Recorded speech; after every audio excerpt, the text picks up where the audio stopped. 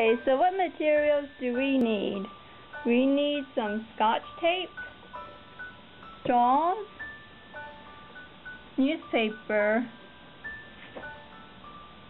paper mache.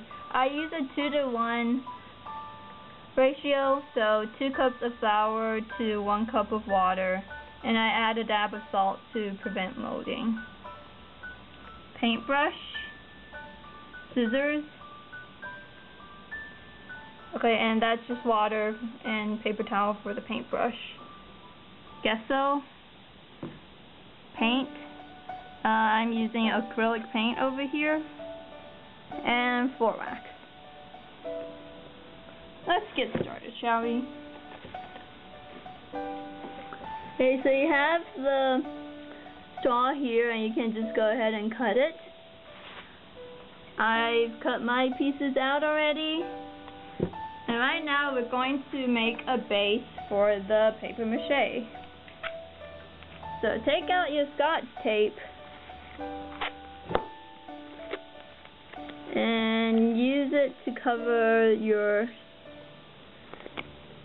straw. I try to do this evenly. Ooh. Not so even. Okay, let's see. Let's line. Okay, we're gonna line the straw up and then cut it down here.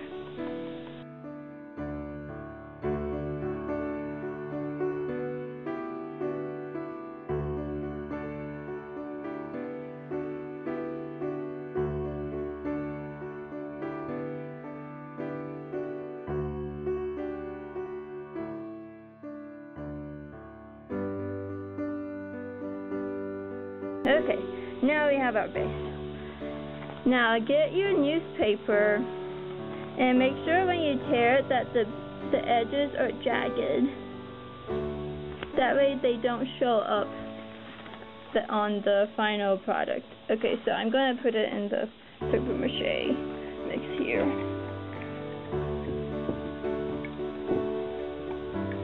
Make sure you have newspaper or a plastic bag as on the surface you're working on so you don't make a huge you probably will anyway. Okay, now so just gently roll it onto the straw piece. Make sure it covers the end. Like that. And then just roll it on. go ahead and roll a few layers on if you can. Let's see,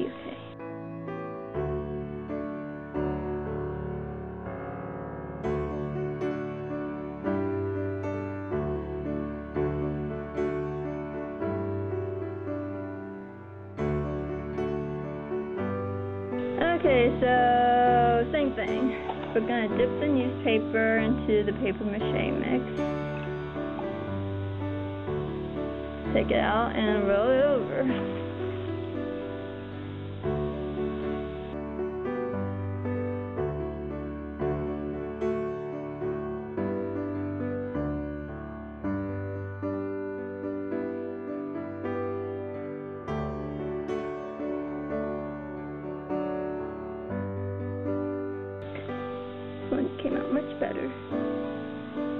Now I'm just going to let it dry in the sun.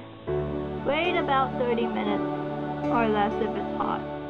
It's been 30 minutes and my straws are dry now. Okay, now I'm going to paint gesso on it.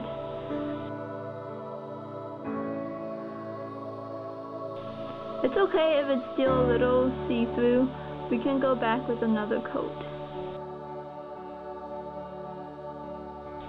Okay, so that will be good for the first coat. Now I'm just going to let it dry under the sun for a bit. The gesso will serve as a base. I've seen people do this without adding gesso, but I'm just going to add it to be on the safe side.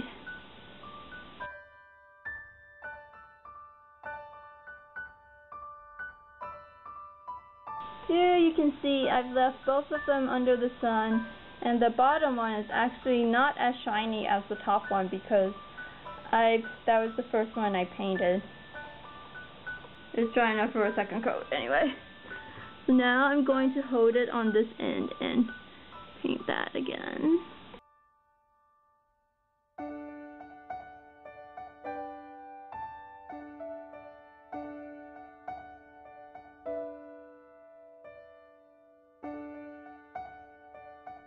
Okay, now I'm going to leave this out in the sun again.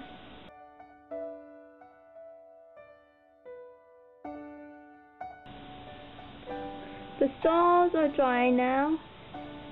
And now, after two layers of gesso, we're going to paint it.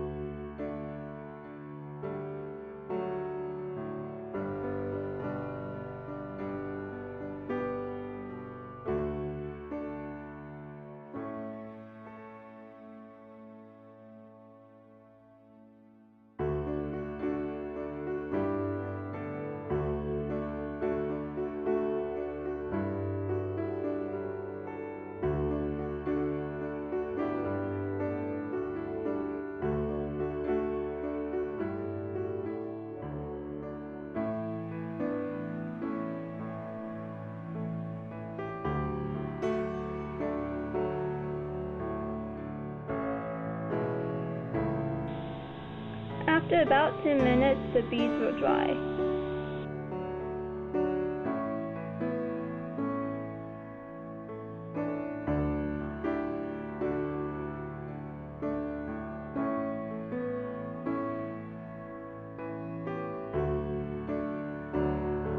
Now that the bead is dry, we can go over it with some floor wax. Without this step, the bead may stick to anything and everything. Mod Podge is sticky on its own.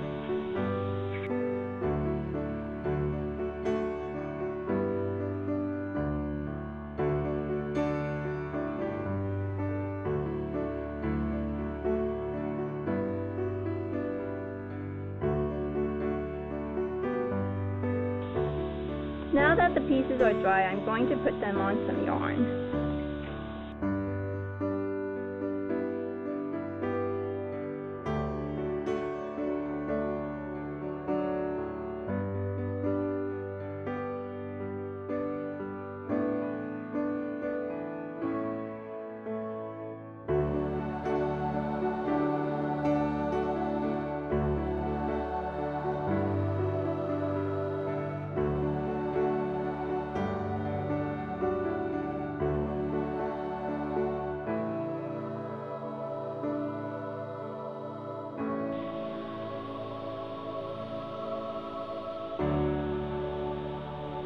Going to attach this to my staff. You can use this tutorial to make any kind of bead. I used it for my Yuna Nirvana staff. You can see them here. And all the way down here. If you use this tutorial and make something, please post in the comments what you make. I'd love to see it.